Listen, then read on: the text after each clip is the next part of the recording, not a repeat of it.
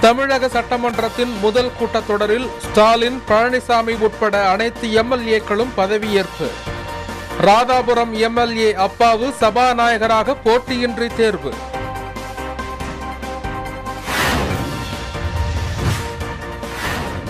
தமிழகத்தின் பல மருத்துவமனைகளில் படுக்கைகள் நிரம்பின. மதுரை அரசு மருத்துவமனையில் தரையில் படுக்க வைத்து நோயாளிகளுக்கு சிகிச்சை.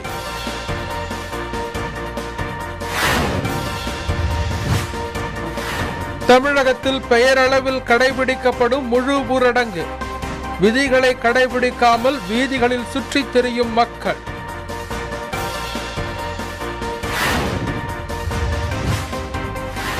முதலமைச்சர் ரங்கசாமி குணமடைந்தவுடன் பதவியேற்பு விழா. புதுச்சேரி பாரதிய ஜனதா தலைவர் சாமிநாதன் தகவல்.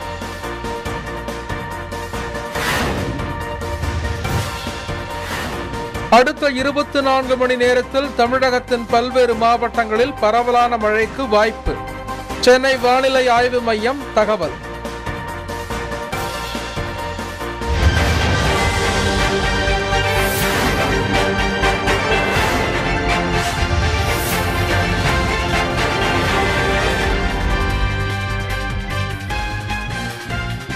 இந்தியாவில் நான்கு லட்சத்தை தாண்டிய கொரோனா பாதிப்பு கடந்த இரண்டு நாட்களாக சற்று குறைந்துள்ளது.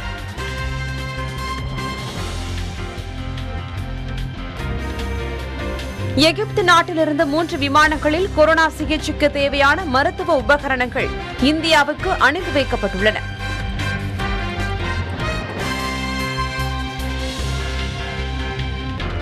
புலம்பெயர் தொழிலாளர்களுக்கு இந்த ஆண்டு இலவச உணவு தானியங்கள் வழங்கும் யோசனை இல்லை என மத்திய அரசு தெரிவித்துள்ளது.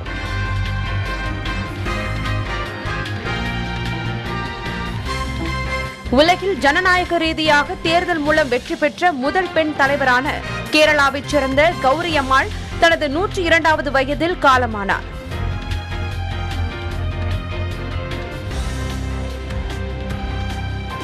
திருச்சானூர் பத்மாவதி தாயார் கோவிலில் பக்தர்களுக்கு அனுமதியின்றி வருடாந்திர வசந்தோற்சவம் வரும் இருபத்தி ஐந்தாம் தேதி முதல் இருபத்தி ஏழாம் தேதி வரை ஏகாந்தமாக நடைபெறுகிறது.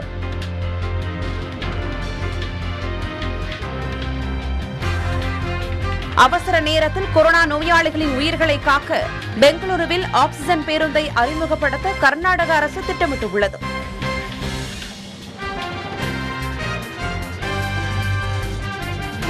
மேற்கு வங்காளத்தில் புதிதாக தேர்வாகியுள்ள பாரதிய ஜனதாவின் எழுபத்தி ஏழு எம்எல்ஏக்களின் உயிருக்கு அச்சுறுத்தல் உள்ளதால் அவர்களுக்கு மத்திய பாதுகாப்பு படையின் பாதுகாப்பு வழங்கப்பட்டுள்ளது.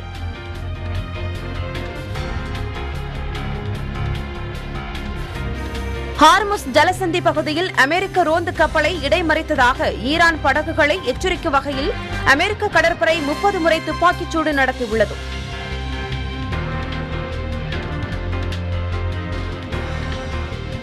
இந்தியாவில் பரவி வரும் பி ஆயிரத்து அறுநூற்று பதினேழு வகை உருமாற்ற கொரோனா வைரஸ் கவலை அளிப்பதாக இருக்கிறது என உலக சுகாதார அமைப்பு தெரிவித்துள்ளது.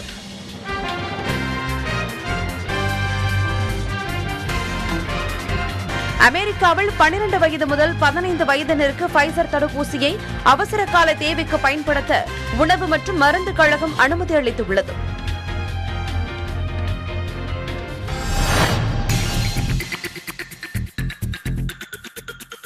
தமிழக சட்டமன்றத்தின் முதல் கூட்டத்தொடர் சென்னை கலைவாணர் அரங்கில் இன்று காலை தொடங்கியது.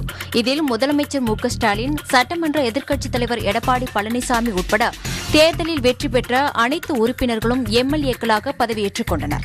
தற்காலிக சபாநாயகர் கு. பிச்சாண்டி சபையை வழிநடத்தினார். முதலில் முதலமைச்சர் மு ஸ்டாலின் பின்னர் அமைச்சர்கள் உறுதிமொழி எடுத்துக் கொண்டனர். இவர்களுக்கு சபாநாயகர் கு. பிச்சாண்டி பதவிப்பிரமாணம் செய்து வைத்தார். இதனைத் தொடர்ந்து சட்டமன்ற எதிர்க்கட்சித் தலைவர் எடப்பாடி பழனிசாமி மற்றும் அனைத்து எம்எல்ஏக்களும் உறுதிமொழி ஏற்றனர். அகர வரிசைப்படி புதிய எம்எல்ஏக்களுக்கு கு பிச்சாண்டி பதவிப்பிரமாணம் செய்து வைத்தார்.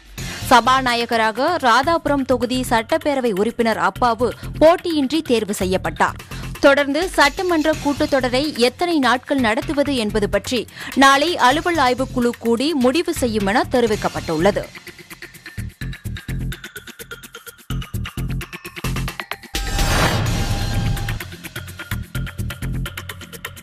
மதுரையில் நாளுக்கு நாள் கொரோனா தொற்று பாதிப்பு அதிகரித்து வரும் நிலையில் அரசு மருத்துவமனைகள் மற்றும் தனியார் மருத்துவமனைகளில் படுக்கைகள் முழுமையாக நிரம்பியுள்ளன மதுரை சின்ன உலகாணியைச் சேர்ந்த சோலைமலை என்ற முதியவர் கருப்பாயூரணியில் உள்ள தனியார் மருத்துவமனையில் அனுமதிக்க கொண்டு செல்லப்பட்ட நிலையில் பரிசோதனை செய்ய இருபத்தைந்தாயிரம் பெற்றுக்கொண்டு சில நிமிடங்களிலேயே வாசலிலேயே உயிருக்கு ஆபத்தான நிலையில் இரண்டு மணி நேரத்திற்கு மேலாக காத்திருக்க வைத்து அரசு மருத்துவமனைக்கு அனுப்பி வைத்துள்ளனர் அரசு மருத்துவமனைக்கு கொண்டு வரப்பட்ட சூழலிலும் முதியவரை படுக்கை இல்லாத நிலையில் நீண்ட நேரம் காக்க வைத்திருந்தனர். அங்கும் போதிய படுக்கைகள் இல்லை என கூறியதால் முதியவரை உறவினர்கள் வீட்டிற்கே அழைத்து சென்றனர். இந்த சம்பவம் பெரும் சோகத்தை ஏற்படுத்தியுள்ளது. இதனிடையே மதுரை அரசு கொரோனா மருத்துவமனையில் போதிய படுக்கை இல்லாத நிலையில் நோயாளிகளையே தரையிலேயே கிடப்பில் போட்டு சிகிச்சை அளிக்கக்கூடிய சூழல் ஏற்பட்டுள்ளது என சமூக வலைதளங்களில் வீடியோ ஒன்று பரவி சர்ச்சையை ஏற்படுத்தியுள்ளது. இதுகுறித்து உரிய விசாரணை நடத்த வேண்டும் என கோரிக்கை எழுந்துள்ளது.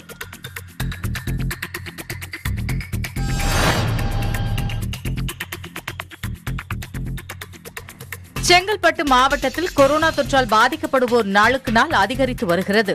இதனால் செங்கல்பட்டு அரசு மருத்துவமனையில் ஆக்ஸிஜன் படுக்கைகள் நிரம்பியுள்ளன மருத்துவமனையில் உள்ள நானூற்று எண்பது படுக்கைகளில் முன்னூற்று இருபத்தைந்து படுக்கைகள் ஆக்ஸிஜன் வசதி கொண்டவையாகும். நேற்றுடன் இவை அனைத்தும் நிரம்பின. மாவட்டத்தின் பல்வேறு பகுதிகளில் இருந்து வந்த நோயாளிகள் வெளியே காத்திருக்கும் சூழ்நிலை ஏற்பட்டது. மூச்சுத் திணறல் காரணமாக மயக்கமடைந்த நோயாளிகள் மருத்துவமனையின் வாயிலிலும் மரத்தடிகளிலும் படுக்க வைக்கப்பட்டனர்.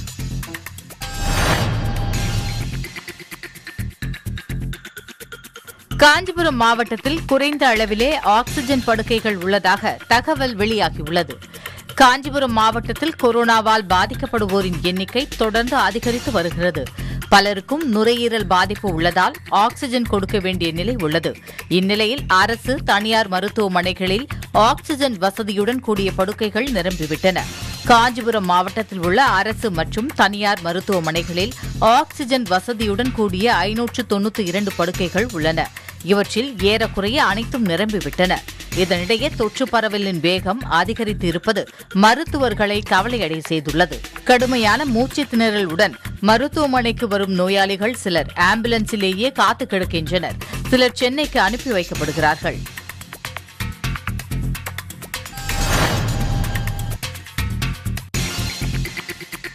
தமிழகத்தில் கொரோனா பரவல் சங்கிலியை உடைக்க கடந்த பத்தாம் தேதி முதல் ஊரடங்கு அமலுக்கு வந்துள்ளது. பொதுமக்கள் அத்தியாவசிய தேவையை தவிர வெளியே வர வேண்டாம் என அறிவுறுத்தப்பட்டுள்ளது. ஆனால் பொதுமக்கள் காலையில் நடைபயிற்சி மேற்கொள்ள வெளியே வருவதையும் வாகனங்களில் தேவையின்றி சுற்றுவதையும் காண முடிகிறது. சில பகுதிகள் பனிரண்டு மணியை தாண்டியும் கடைகள் திறக்கப்பட்டு இருந்தன. பெயரளவிலேயே முழு ஊரடங்கு அமலில் இருப்பது மருத்துவர்களையும் கொரோனா தடுப்பு பணியில் ஈடுபட்டு உள்ளவர்களையும் கவலையடை செய்துள்ளது.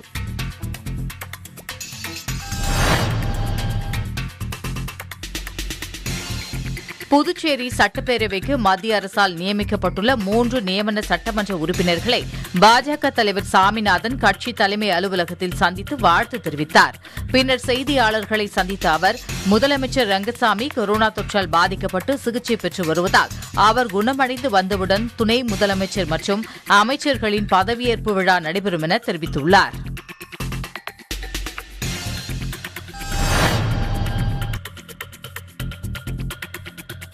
எழுபத்தைந்து லட்சம் கோவிஷீல்டு தடுப்பூசிகளும் இருபத்தைந்து லட்சம் கோவாக்சின் தடுப்பூசிகளும் வாங்க கேரள அமைச்சரவை ஒப்புதல் அளித்த நிலையில் புனே சீரம் நிறுவனத்திலிருந்து மூன்றரை லட்சம் கோவிஷீல்டு தடுப்பூசிகள் கொச்சி நெடும்பஞ்சேரி விமான நிலையத்திற்கு வந்தடைந்தன. தடுப்பூசிகள் மஞ்சுமலில் உள்ள கேரள மருத்துவ சேவைகள் கழகத்தின் பிராந்திய மருத்துவ கிடங்கிற்கு மாற்றப்பட்டது.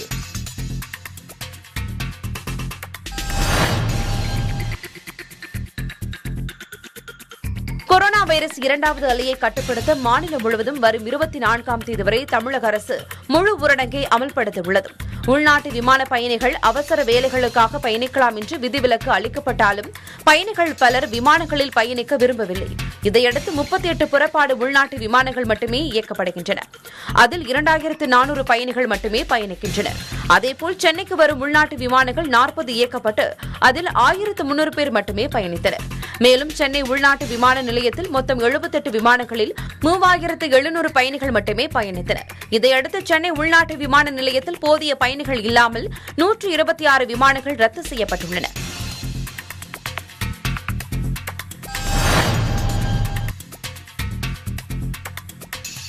வளிமண்டல மேலடுக்கு சுழற்சி காரணமாக தமிழகத்தின் பல்வேறு மாவட்டங்களில் மழை பெய்ய வாய்ப்புள்ளதாக வானிலை ஆய்வு மையம் தெரிவித்துள்ளது.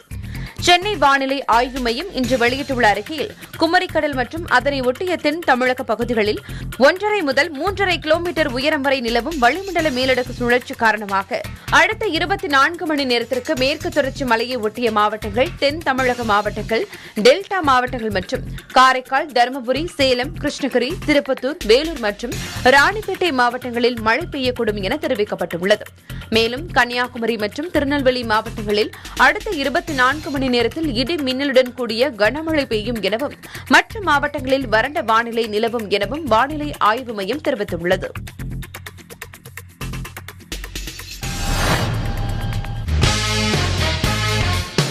நல்லா கேட்கிறாங்க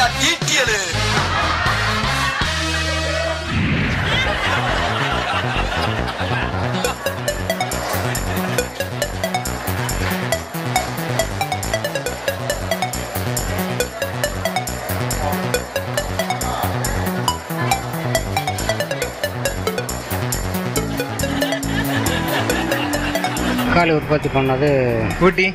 தென் அமெரிக்கா. தென் அமெரிக்கா. தக்காளி உற்பத்தி பண்ணது இது- தானே திண்டுக்கல் தானே. சீனாவா? கிராமத்தில் தான் பிறந்தது. தக்காளின்னு நினைக்கிறேன் கர்நாடகா. சைனாவா?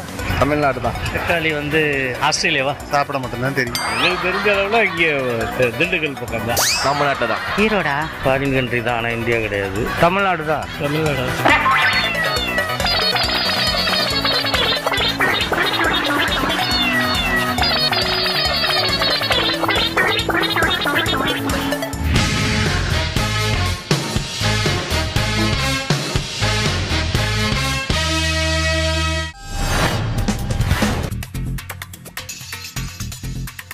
ஒவ்வொரு ஆண்டும் மே மாதம் கோடை சீசனில் உதகை அரசு தாவரவியல் பூங்காவில் பல்வேறு மலர்கள் பூக்கும். இவைகளை கண்டு ரசிக்க லட்சக்கணக்கான சுற்றுலா பயணிகள் உதகைக்கு வருகை புரிவர். கடந்த ஆண்டும் இந்த ஆண்டும் கொரோனா தொற்றின் காரணமாக கடந்த மாதம் இருபதாம் தேதி முதல் பூங்கா மூடப்பட்டது. முன்னதாக ஹாலந்து நாட்டை பிறப்பிடமாக கொண்ட கெலா லில்லி மலர் நாற்றுகள் வரவழைக்கப்பட்டு வளர்க்கப்பட்டன. இவை உதகை அரசு தாவரவியல் பூங்காவில் உள்ள கண்ணாடி மாளிகையில் வெள்ளை மஞ்சள் ஆரஞ்சு பழுப்பு சிவப்பு மற்றும் கருப்பு உள்ளிட்ட ஐந்து வண்ணங்களில் பூத்து குலுங்கி ரம்யமாக காட்சியளிக்கிறது. ஆனால் பார்வையாளர்கள் இவற்றை கண்டு ரசிக்க வாய்ப்பில்லாத சூழல் நிலவுகிறது.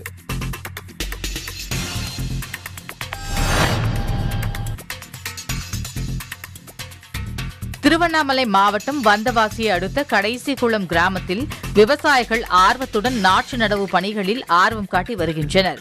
வந்தவாசியை அடுத்த கடைசிகுளம் கிராமத்தில் விவசாயிகள் இரண்டாம் போக நெல் சாகுபடிக்கான நாற்று நடவு பணி நடைபெற்று வருகிறது. தற்போது கொரோனா நோய் தொற்று பரவல் அதிகரித்து வரும் நிலையில் விவசாய கூலி பெண் தொழிலாளிகள் சமூக இடைவெளியை கடைபிடித்து நெல் நாற்றுகளை நட்டு வருகின்றனர். மேலும் டிராக்டர் மூலம் உழவு பணிகளும் செய்து வருகின்றனர்.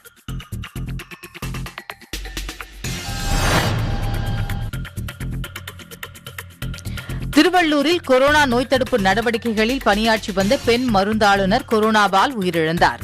திருவள்ளூரைச் சேர்ந்த ஷபீலா கடந்த ஐந்து ஆண்டுகளாக மத்திய அரசின் குழந்தைகள் நலத்திட்டத்தின் கீழ் மருந்தாளுநராக ஒப்பந்த அடிப்படையில் பணியாற்றி வந்துள்ளார். கடம்பத்தூரில் உள்ள வட்டார மருத்துவமனையில் பேரிடர் காலங்களில் பாதிக்கப்பட்டவர்களுக்கு உதவுவது டெங்கு காய்ச்சல் நேரத்தில் நோய் தொற்று பரவாமல் முன்னெச்சரிக்கை நடவடிக்கை பணிகளில் ஈடுபட்டு வந்துள்ளார். இந்த நிலையில் கடந்த ஐந்தாம் தேதி இவருக்கு தொற்று உறுதியானது. சென்னை தாம்பரம் சானிட்டோரியம் மருத்துவமனையில் ஐந்து நாட்கள் தீவிர சிகிச்சை பிரிவில் அனுமதிக்கப்பட்டிருந்த அவர் உயிரிழந்துள்ளார். இது அந்த பெண்ணின் குடும்பத்தாரை சோகத்தில் ஆழ்த்தியுள்ளது.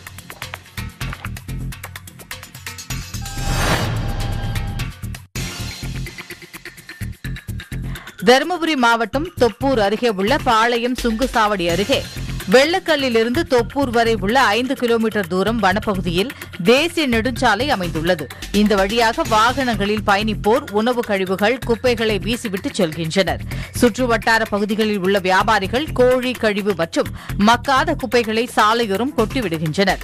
வனப்பகுதியில் கொட்டப்பட்டு கிடக்கும் கழிவுகளை சிலர் தீ வைப்பதால் விபத்தும் ஏற்படுகிறது. கழிவுகள் பிளாஸ்டிக் ஆகியவற்றை வனவிலங்குகள் உட்கொள்வதால் உயிரிழக்கின்றன இதனை வனத்துறையினர் மற்றும் மாவட்ட நிர்வாகம் தடுக்கும் வகையில் இந்த பகுதிகளில் கண்காணிப்பு கேமரா பொருத்தப்பட்டு சமூக விரோதிகளை அடையாளம் கண்டு அபராதம் விதிக்க வேண்டுமென கோரிக்கை எழுந்துள்ளது.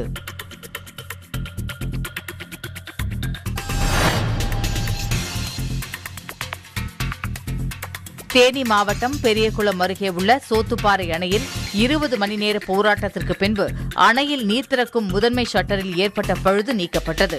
அணையில் ஷட்டர் பழுதாகி நின்றதால் இருபது மணி நேரத்தில் அணையின் நீர்மட்டம் முழு கொள்ளளவான நூற்றி இருபத்தாறு அடியில் பதினாறு அடிக்கு மேல் குறைந்து நீர்மட்டம் நூற்று பத்து அடியானது. நீர் வீணாக ஆற்றில் சென்றது. அணையிலிருந்து வெளியேறும் நீர் சேரும் சகதியுமாக வெளியேறியதால் பெரியகுளம் நகராட்சி மற்றும் பெரியகுளத்தை சுற்றியுள்ள வடுக்கப்பட்டி தென்கரை பேரூராட்சி தாமரைக்குளம் பேரூராட்சி மற்றும் இருபத்தைந்துக்கும் மேற்பட்ட ஊராட்சிகள் குடிநீர் சுத்திகரிக்கப்பட முடியாத நிலையால் குடிநீர் விநியோகம் தடைப்பட்டுள்ளது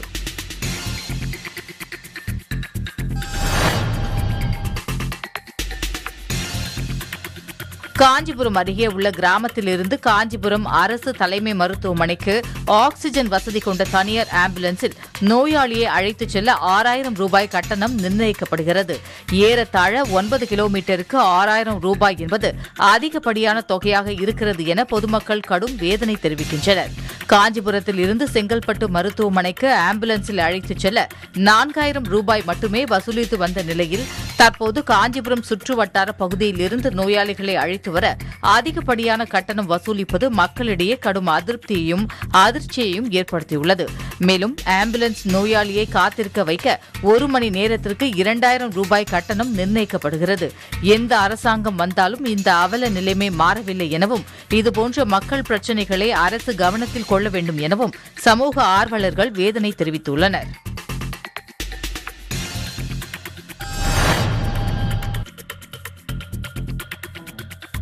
சிவகங்கை மாவட்டம் காரைக்குடியில் உள்ள எம்எல்எம் ஆரம்ப சுகாதார நிலையத்தில் காலை ஒன்பது மணிக்கு கொரோனா பரிசோதனை ஆரம்பிக்கப்பட வேண்டிய நிலையில் மருத்துவர் மற்றும் பணியாளர்கள் பதினோரு மணிக்கு மேல்தான் பணிக்கு வருவதாக மக்கள் புகார் தெரிவிக்கின்றனர். பொதுமக்களுக்கு வெப்ப பரிசோதனை செய்யப்படுவதில்லை என்றும் முறையாக சானிடைசர் கொடுக்கப்படுவதில்லை என்றும் பணியில் அலட்சியம் காட்டி பொதுமக்களை நீண்ட நேரம் காக்க வைப்பதாகவும் குற்றச்சாட்டு எழுந்துள்ளது.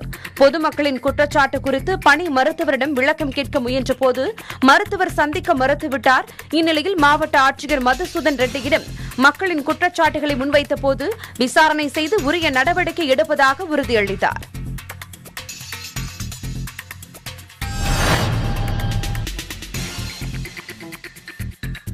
நாமக்கல் மாவட்டம் ராசிபுரம் அடுத்த நாமகிரிப்பேட்டை அரசு மகளிர் மேல்நிலைப் பள்ளியில் தலைமை ஆசிரியராக தங்கம் பணிபுரிந்து வந்தார். இந்த நிலையில் கடந்த சில தினங்களுக்கு முன்பு காய்ச்சல் இருமல் சளி உள்ளிட்ட அறிகுறிகள் இருந்த நிலையில் கொரோனா பரிசோதனை மேற்கொள்ளப்பட்டது. பின்னர் தொற்று உறுதி செய்யப்பட்டதை அடுத்து தனியார் மருத்துவமனையில் சிகிச்சை பெற்று வந்தார். இந்த நிலையில் சிகிச்சை பலனின்றி அரசு மகளிர் பள்ளி தலைமை ஆசிரியர் தங்கம் உயிரிழந்தார். பின்னர் நாமகிரிப்பேட்டை அரசு மகளிர் மேல்நிலைப் பள்ளியில் முழுவதும் கிருமி நாசினி தெளிக்கப்பட்டது.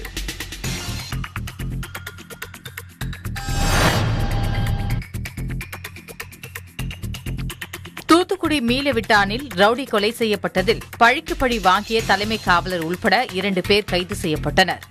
தூத்துக்குடி சிப்காட் காவல் நிலைய எல்லைக்குட்பட்ட மீளவிட்டான் சுடுகாட்டு பகுதியில் தூத்துக்குடி ஃபாத்திமா நகரைச் சேர்ந்த ரவுடி லூர்து ஜெயசீலன் கொலை செய்யப்பட்டு வீசப்பட்டிருந்தார். இவர் மீது கொலை வழக்கு உட்பட ஏழு வழக்குகள் நிலுவையில் உள்ளன. இந்நிலையில் தனிப்படை போலீசார் இந்த சம்பவத்தில் துப்பு துலக்கும் பணியில் ஈடுபட்டனர்.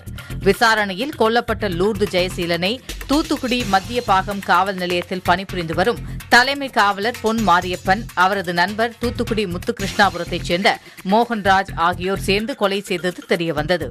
இதைத் தொடர்ந்து தலைமை காவலர் பொன் மாரியப்பனையும் மோகன்ராஜையும் கைது செய்த தனிப்படையினர் அவர்களிடம் விசாரணை மேற்கொண்டனர். இதில் அதிர்ச்சி தரும் தகவல் வெளியானது. அதாவது கொலை செய்யப்பட்ட லூர்து ஜெயசீலன் கடந்த ஆயிரத்து தொள்ளாயிரத்து தொன்னூத்தி எட்டாம் ஆண்டு மற்றொரு ரவுடி கும்பலைச் சேர்ந்த அழகு என்பவரை கொலை செய்துள்ளார். இது தொடர்பாக தூத்துக்குடி வடபாகம் காவல் நிலையத்தில் வழக்கு பதிவு செய்யப்பட்டது. கொலை செய்யப்பட்ட அழகு என்பவர் தற்போது மத்திய பாகம் காவல் நிலையத்தில் தலைமை காவலராக பணிபுரியும் பொன் மாரியப்பனுக்கு தாய்மாமா ஆவார். எனவே தனது தாய்மாமன் அழகு கொலை செய்யப்பட்டதற்கு பழிக்கு பழியாக லூர்து ஜெயசீலனை கொலை செய்ய வேண்டும் என்று திட்டமிட்டு மோகன்ராஜ் என்பவருடன் சேர்ந்து லூர்து ஜெயசீலனை கொலை செய்தது தெரியவந்தது.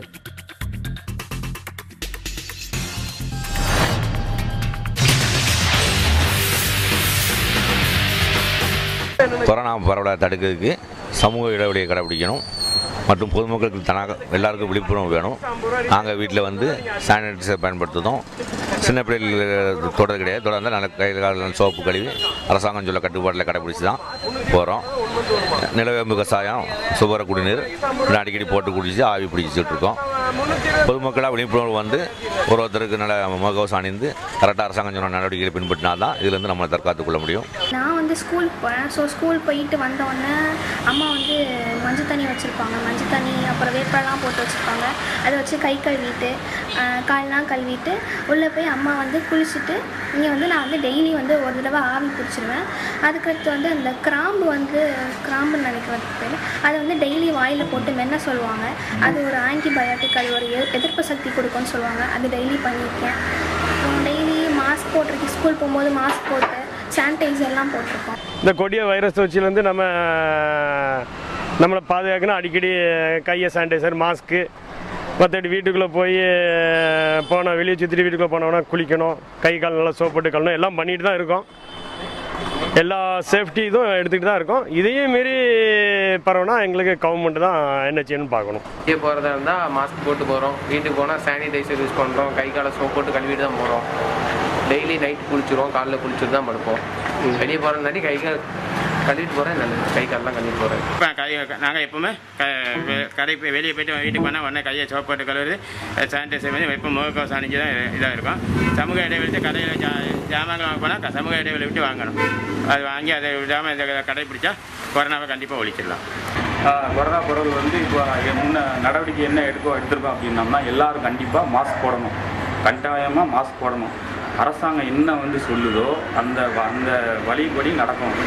சமூக இடைவெளி கண்டிப்பாக வேணும். இந்த கண்டிப்பாக இருந்தால் தான் அந்த கொரோனா வந்து நம்ம பரமாக இருக்க முடியும். அதே மாதிரி வெளியே போயிட்டு வீட்டுக்குள்ளே வரும் பொழுது கம்பல்சரியாக கை காலை கழுவி சானிடர் யூஸ் பண்ணி இதையும் தாண்டி மஞ்சள் தண்ணியால் கையை காலெலாம் கையை கழுவணும். அப்போந்தான் நம்ம வந்து நம்ம வந்து கொரோனாலேருந்து தப்பிக்க முடியும். வீட்டில் வந்து நம்ம எங்கள் அம்மாலாம் வீட்டில் வாசலில் நம்ம வீட்டுக்குள்ளே போகவே மஞ்சள் தண்ணிலாம் வச்சுருப்பாங்க வேப்பில் போட்டு. அது ஒரு ஆன்டிபயோட்டிக் அது அதை நம்ம எடுத்து பண்ணாலே போதும். அதுமாக இந்த மிளகு இந்த மாதிரி நம்ம வாட்டர் குடிக்கிறது அது வாட்டரே நம்மளுக்கு அதிகமாக குடித்தாலே போதும். அந்த ஹீட் இருக்கிறது அந்த எல்லாமே போயிடும் அது.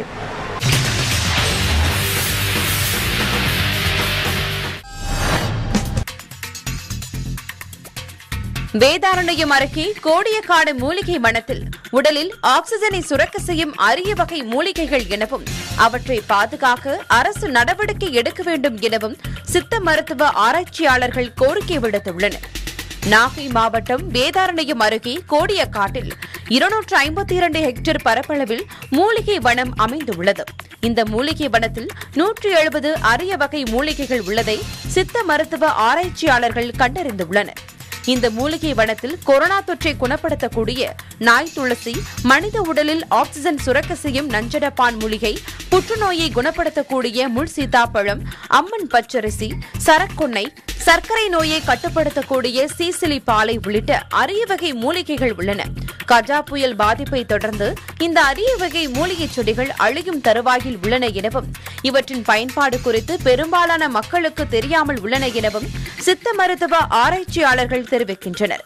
இந்த மூலிகை செடிகளை பாதுகாக்காவிட்டால் இவற்றின் மருத்துவ குணம் குறித்து எதிர்கால தலைமுறையினர் அறிய வாய்ப்பு இல்லாமல் போய்விடும் என மருத்துவர்கள் வேதனை தெரிவிக்கின்றனர். சுமார் இங்கு நூற்றி எழுபதுக்கு மேற்பட்ட மூலிகைகள் இருந்தது. கொரோனா நோய்க்கு மருந்தாகும் மூலிகை மூலிகையான இந்த நாய் துளசி இந்த வனத்திலே உள்ளது. அதுபோல உடம்பிலே ஆக்சிஜனை அதிக அளவிலே சுரக்கச் செய்கின்ற நஞ்செருப்பான் மூலிகை இந்த வனத்திலே உள்ளது. இதுபோல அரிய மூலிகைகள் இந்த வனத்திலே உள்ளது. மூலிகை மரங்கள் மற்றும் மூலிகை செடிகள் குறித்து மக்களிடம் விழிப்புணர்வு ஏற்படுத்தவும் அவற்றை பாதுகாக்கவும் அரசு நடவடிக்கை எடுக்க வேண்டும் என சித்த மருத்துவ ஆராய்ச்சியாளர்கள் கோரிக்கை விடுத்துள்ளனர்.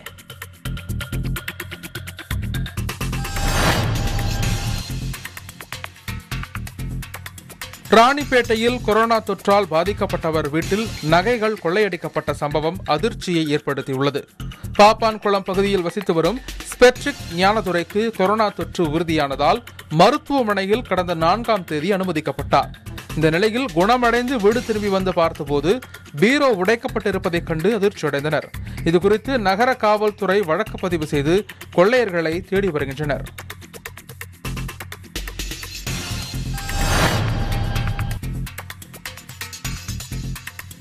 சேலம் மாவட்டம் ஓமலூர் காடையம்பட்டி வட்டாரத்தில் ஒரு சில பகுதிகளில் கனரக வாகனங்களுக்கு சட்டவிரோதமாக கலப்பட டீசல் விற்பனை செய்யப்பட்டு வருவதாக புகார் எழுந்துள்ளது.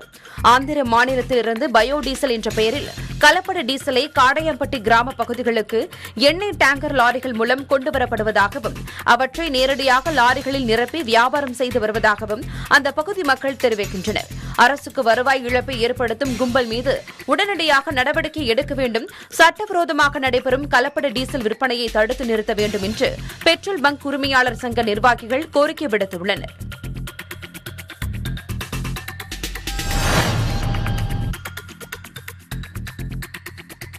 ஊரடங்கு அறிவித்துள்ளதால் சுற்றுலா தலங்களில் உள்ள வியாபாரிகளும் பணியாளர்களும் தங்கள் வாழ்வாதாரத்தை இழந்துள்ளனர்.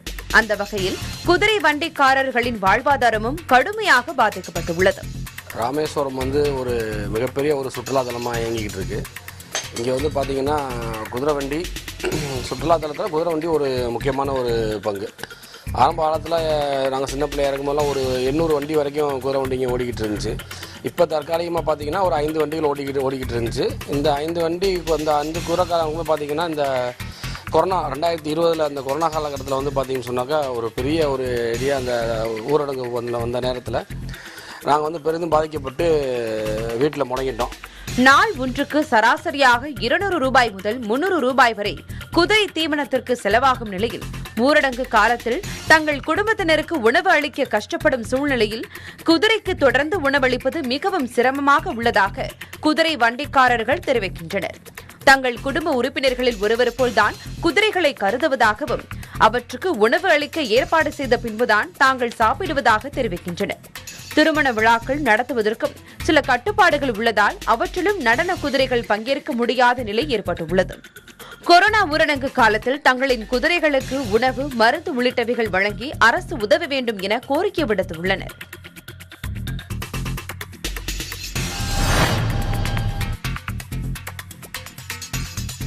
நெல்லை மாவட்டம் திசையன்விளை அருகே பெட்டைக்குளம் கிராமத்தில் உள்ள டாஸ்மாக் மதுபான கடையின் சுவற்றில் துளையிட்டு மூன்று லட்சம் ரூபாய் மதிப்புள்ள மதுபானங்கள் திருடப்பட்டுள்ளன.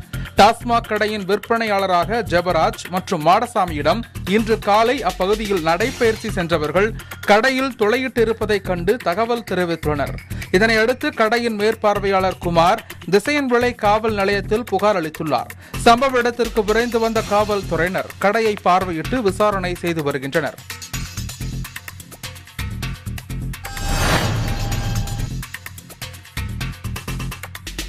சென்னை பல்லாவரம் அடுத்த அனகாபுத்தூர் அடையாறு ஆற்றில் தேங்கியுள்ள குட்டை ஒன்றில் சடலம் ஒன்று மிதப்பதாக சங்கர் நகர் போலீசாருக்கு தகவல் வந்தது. தகவலின் பேரில் விரைந்து சென்ற போலீசார் குட்டையில் மிதந்த சடலத்தை மீட்டனர். உடல் சிதைந்த நிலையில் இருந்ததால் யார் என அடையாளம் தெரியாததால் அக்கம் பக்கத்தினரிடம் போலீசார் விசாரணை நடத்தி வருகின்றனர். உடலை கைப்பற்றிய போலீசார் பிரேத பரிசோதனைக்காக குரோம்பேட்டை அரசு பொது மருத்துவமனைக்கு அனுப்பி வைத்தனர்.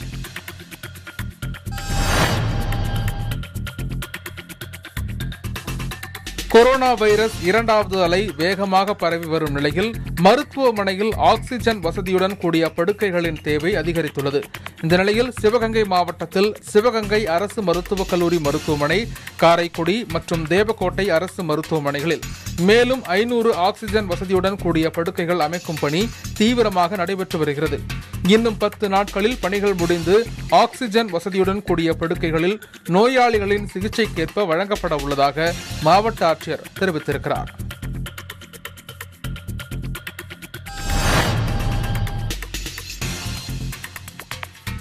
கடலூர் மாவட்டம் விருதாச்சலம் கொரோனா சிகிச்சை மையத்தில் அடிப்படை வசதிகள் சரிவர செய்து தரவில்லை என்று கூறி நோயாளிகள் திடீர் போராட்டத்தில் ஈடுபட்டனர். போதிய கழிவறைகள் இல்லாமலும் இருக்கின்ற கழிவறைகளை சுத்தம் செய்யாமலும் சுகாதாரமான குடிநீர் வழங்கவில்லை ஊட்டச்சத்து மிக்க உணவு முறைகள் வழங்கப்படவில்லை என்று கூறி சிகிச்சை மையத்திற்கு வெளியே வந்து திடீரென போராட்டத்தில் ஈடுபட்டனர். பின்னர் சுகாதாரத்துறை அதிகாரிகள் பேச்சுவார்த்தை நடத்தி அவர்களை கலைந்து போக செய்தனர்.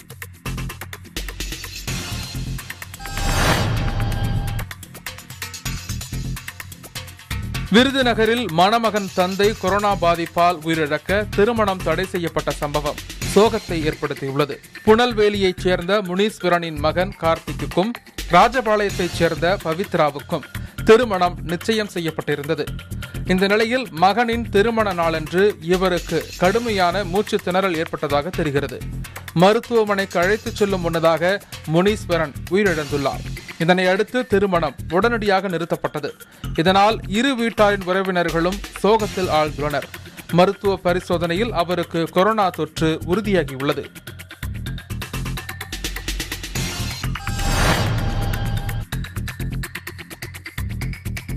மதுரை மாவட்டம் களிமங்கலம் அருகே உள்ள ஓடைப்பட்டி பகுதியைச் சேர்ந்தவர் முத்து.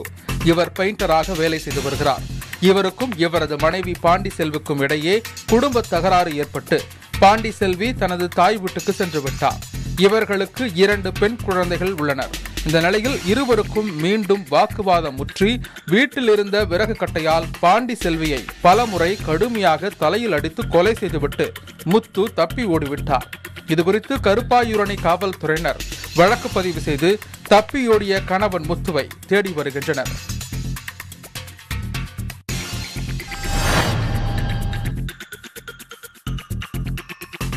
கொரோனா ஊரடங்கால் திருவண்ணாமலை மாவட்ட மத்திய பேருந்து நிலையத்தில் மொத்த பூ மார்க்கெட் இயங்க தொடங்கியுள்ளது.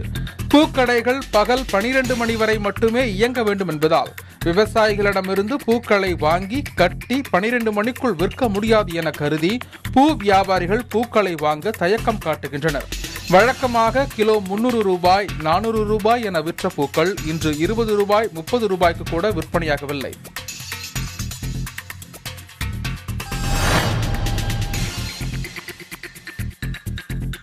தூத்துக்குடியிலிருந்து இலங்கைக்கு சட்டவிரோதமாக வெள்ளி கொலுசுகள் கடத்தப்படுவதாக போலீசாருக்கு தகவல் கிடைத்தது. இதையடுத்து போலீசார் தூத்துக்குடி திரேஸ்புரம் கடற்கரையில் நின்றிருந்த ஒரு படகை சோதனை செய்ததில் அதில் தூத்துக்குடி இனிக்கோ நகரைச் சேர்ந்த மீனவரான பட்டுராஜன் இருபது கிலோ வெள்ளி கொலுசுகள் பதுக்கி வைத்திருப்பது தெரியவந்தது. இதன் மதிப்பு இருபது லட்சம் ரூபாய் என கூறப்படுகிறது.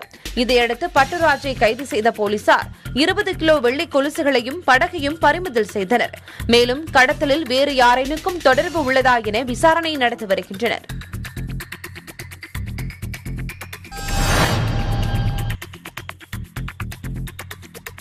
தஞ்சை மாவட்டத்தில் ஆக்சிஜன் படுக்கை வசதி இல்லாததால் உயிரிழப்புகள் அதிகரிப்பதாக குற்றச்சாட்டுகள் எழுந்த நிலையில் மாவட்டத்தில் உள்ள மருத்துவக் கல்லூரி மருத்துவமனை மற்றும் ஆரம்ப சுகாதார நிலையங்களை மாவட்ட ஆட்சியர் கோவிந்தராஜ் ஆய்வு மேற்கொண்டார். அதன் பின் பேசிய ஆட்சியர் தஞ்சை மாவட்டத்தில் அரசு மருத்துவமனைகளில் ஆயிரத்தி இருநூற்று ஐம்பது ஆக்சிஜன் படுக்கை வசதிகள் உள்ளதாகவும் அவற்றில் எழுநூற்று ஐம்பது மட்டுமே நிரம்பியுள்ளன எனவும் தெரிவித்தார். மேலும் ஐநூறு படுக்கை வசதி தயார் செய்யும் பணி நடைபெற்று வருவதாகவும் தெரிவித்தார். தேவையான ஆக்சிஜன் கையிருப்பு உள்ளது எனவும் உற்பத்தியை கண்காணிக்க குழு அமைக்கப்பட்டுள்ளதாகவும் தெரிவித்தார். பொதுமக்கள் கொரோனா பரவலை தடுக்கும் விதமாக கூட்டம் கூடுவதை தவிர்க்க வேண்டும் எனவும் ஆட்சியர் கேட்டுக்கொண்டார்.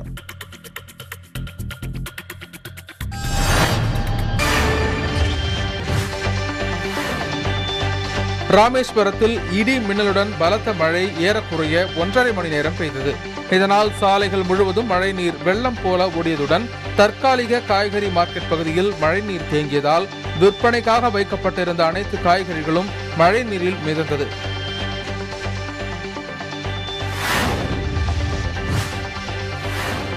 கிருஷ்ணகிரி மாவட்டம் போச்சம்பள்ளி சுற்றுவட்டார பகுதிகளான மத்தூர் குள்ளம்பட்டி சந்தம்பட்டி கண்ணண்டஹள்ளி ஆகிய பகுதிகளில் உள்ள விவசாயிகள் மூவாயிரம் ஏக்கர் பரப்பளவில் குண்டுமல்லி சாகுபடி செய்துள்ளனர். இதில் விளையும் பூக்கள் பெரும்பாலும் பெங்களூருக்கு அனுப்பி வைக்கப்படுகின்றன. கர்நாடகா மாநிலத்தில் ஊரடங்கால் போக்குவரத்து முற்றிலும் நிறுத்தப்பட்டுள்ளதால் பூக்கள் விற்பனை பெருமளவு பாதிக்கப்பட்டுள்ளது. தமிழகத்திலும் ஊரடங்கு அறிவிக்கப்பட்டதால் குண்டுமல்லி பூக்களை வாங்க ஆள் இல்லாத காரணத்தால் பூக்களை அறுவடை செய்யாமல் விவசாயிகள் செடிகளிலேயே விட்டுள்ளனர். இதனால் பூக்கள் செடிகளில் காய்ந்து கீழே விழும் நிலை ஏற்பட்டுள்ளதாக விவசாயிகள் வேதனை தெரிவிக்கின்றனர்.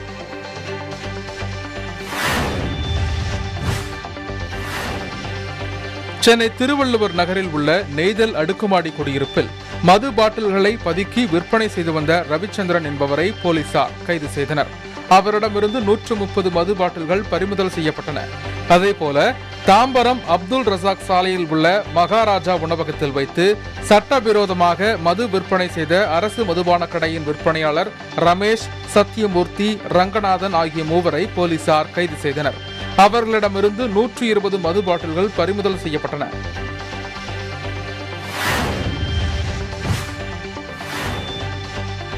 கடலூர் மாவட்டம் விருத்தாச்சலம் அடுத்த வயலூர் பகுதியில் வசித்து வரும் ஆயிரத்திற்கும் மேற்பட்டோர் கடந்த இரண்டு மாதங்களாக நியாய விலை கடைகளில் வழங்கப்படும் அரிசி பயன்படுத்த முடியாத அளவிற்கு புழுக்கள் வண்டுகள் கல் நிறைந்து காணப்படுவதாகவும் பல வண்ணங்களில் சிவப்பு கருப்பு பழுப்பு மஞ்சள் நிறத்தில் உள்ளதாகவும் வேதனை தெரிவித்துள்ளனர்.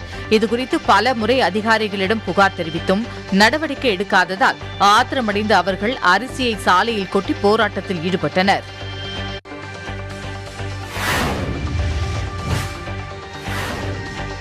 செங்கல்பட்டு மாவட்டம் கல்பாக்கம் மாமல்லபுரம் திருப்போரூர் திருக்கழுகுன்றம் போன்ற பகுதிகளில் உள்ள கடைகள் வணிக நிறுவனங்கள் போன்றவை ஊரடங்கு காரணமாக மூடப்பட்டுள்ள நிலையில் ஊரடங்கு விதிமுறைகளை மீறும் வாகனங்களை புகைப்படம் எடுத்து வழக்கு பதிவு செய்யப்படும் என தெரிவிக்கப்பட்டுள்ளது.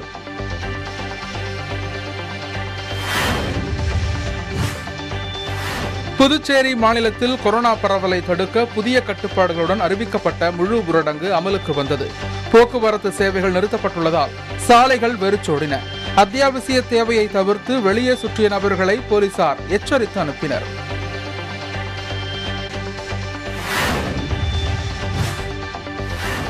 புதுக்கோட்டை மீன் மார்க்கெட்டில் வருவாய் கோட்டாட்சியர் மற்றும் நகராட்சி ஆணையர் பொதுமக்கள் வியாபாரிகள் கொரோனா தடுப்பு விதிகளை பின்பற்றுகிறார்களா என ஆய்வு செய்தனர்.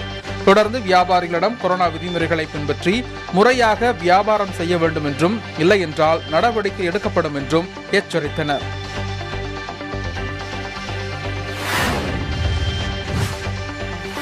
புதுக்கோட்டை உழவர் சந்தையில் காய்கறி வாங்க வருவோர் சமூக இடைவெளியை பின்பற்றாததால் நோய் தொற்று பரவும் சூழல் ஏற்படுவதாக புகார் எழுந்தது. இதனிடையே சந்தை தற்காலிகமாக நகர பேருந்து நிலையத்திற்கு இடமாற்றம் செய்யப்பட்டது. இந்த நிலையில் இடமாற்றம் செய்யப்பட்ட உழவர் சந்தையை வருவாய் கோட்டாட்சியர் டெய்சி குமார் நகராட்சி ஆணையர் ஜீவசுப்பிரமணியன் ஆகியோர் நேரில் பார்வையிட்டு ஆய்வு செய்தனர்.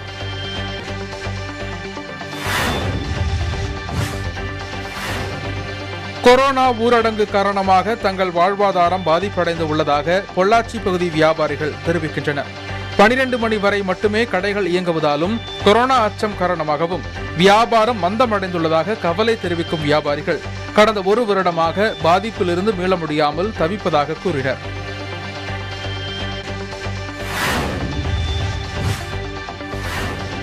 கோவை மாவட்டம் ஆத்துப்பாலம் அருகே என்பி இட்டேரி பகுதியில் வீட்டில் மது பாட்டில்களை பதுக்கி வைத்து விற்பனை செய்த அபு என்ற இளைஞரை போத்தனூர் போலீசார் கைது செய்தனர். அவரிடமிருந்து நூற்றி ஐம்பது மது பாட்டில்கள் பறிமுதல் செய்யப்பட்டுள்ளன.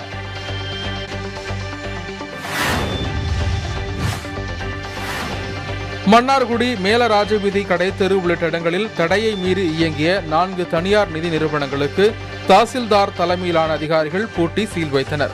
அனுமதிக்கப்பட்ட கடைகளை தவிர வேறு நிறுவனங்கள் திறந்தால் அபராதம் விதிப்பது பூட்டி சீல் வைப்பது உள்ளிட்ட நடவடிக்கைகள் எடுக்கப்படும் என தாசில்தார் எச்சரித்தார்.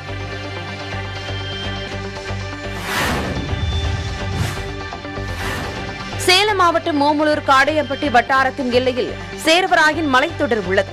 இந்நிலையில் டேனிஸ்பேட்டை வடச்சரகத்தில் உள்ள தின்னம்பட்டி பிரிவு கருவாட்டுப்பாறை பீட் சின்னேரிக்காடு வழித்தடத்தில் ஒரு கும்பல் வன விலங்குகளை வேட்டையாடுவதாக வனத்துறை அதிகாரிகளுக்கு தகவல் கிடைத்தது. இதனைத் தொடர்ந்து வனத்துறை அலுவலர்கள் ஆய்வில் ஈடுபட்டனர். அப்போது மான் பன்றி உள்ளிட்ட வன விலங்குகளை வேட்டையாட தயாராக இருந்த ஆர்சி செட்டிப்பட்டி கிராமத்தைச் சேர்ந்த ராஜ்குமார் ராஜா நல்லத்தம்பி ஆகியோரை போலீசார் கைது செய்தனர்.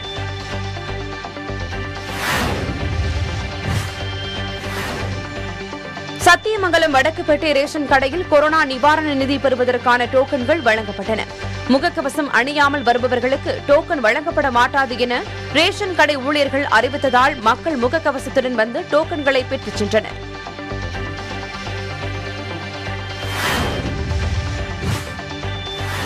திருவள்ளூர் மாவட்டத்தில் நாள்தோறும் ஆயிரத்திலிருந்து ஆயிரத்து எழுநூறுக்கும் மேற்பட்டோருக்கு கொரோனா பாதிப்பு ஏற்பட்டு வந்த நிலையில் நேற்று அந்த எண்ணிக்கை வெகுவாக குறைந்து ஆயிரத்து எட்டு பேருக்கு மட்டுமே தொற்று உறுதி செய்யப்பட்டுள்ளது. செய்தியாளர்களிடம் பேசிய ஆட்சியர் பொன்னையா கொரோனா சிகிச்சைக்காக திருவள்ளூரில் சித்த மருத்துவ மையம் ஏற்படுத்தப்படும் என தெரிவித்தார்.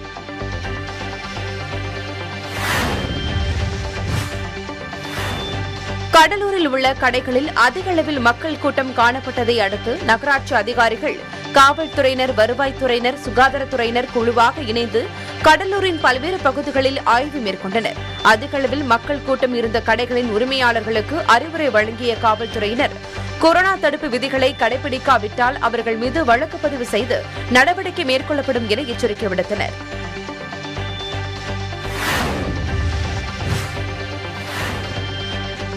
ராமநாதபுரம் மாவட்டத்தில் தொடர்ந்து கொரோனா தொற்று அதிகரித்து வருவதை ஒட்டி ராமநாதபுரம் மாவட்ட நிர்வாகம் சார்பில் பல்வேறு தடுப்பு நடவடிக்கைகள் மேற்கொள்ளப்பட்டு வருகிறது. இந்நிலையில் ராமநாதபுரம் பாராளுமன்ற உறுப்பினர் நவாஸ் கனி அவர்களுடைய சொந்த நிதியிலிருந்து கருடா என்னும் ட்ரோன் மூலம் கிருமி நாசினி தெளிக்கும் பணி துவங்கியது. இதன் மூலம் அரசு மருத்துவமனை அனைத்து பகுதிகள் மற்றும் சின்னக்கடை பாரதி நகர் பட்டினம் காத்தான் அரண்மனை மற்றும் நகர் பகுதிகளில் கிருமி நாசினி தெளிக்கும் பணி தொடர்ந்து நடைபெற்றது.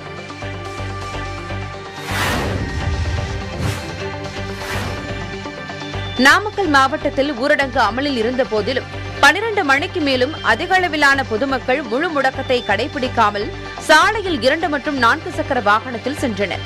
அவ்வாறு சென்றவர்களை காவல்துறையினர் எச்சரித்து அனுப்பி வைத்தனர். இதற்கிடையில் தேவையில்லாமல் வெளியே சுற்றும் நபர்கள் மீது எவ்வித அபராதமும் அல்லது வழக்குகளோ பதிவு செய்யப்படாமல் எச்சரித்து அனுப்புவதால் பொதுமக்கள் முழு முடக்கத்தை ஒரு பொருட்டாகவே கருதவில்லை என அதிகாரிகள் கவலையுடன் தெரிவித்தனர்.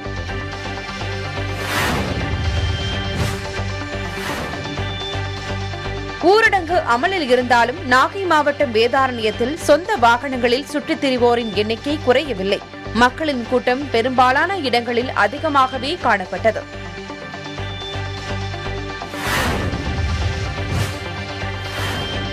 கொரோனா தடுப்பு நடவடிக்கைக்கு தொழில்துறையினர் சமூக ஆர்வலர்கள் தன்னார்வ தொண்டு நிறுவனங்கள் தங்களால் முடிந்த அளவு கொரோனா தடுப்பு நடவடிக்கைக்கு தங்களது பங்களிப்பை அளித்து வருகின்றனர்.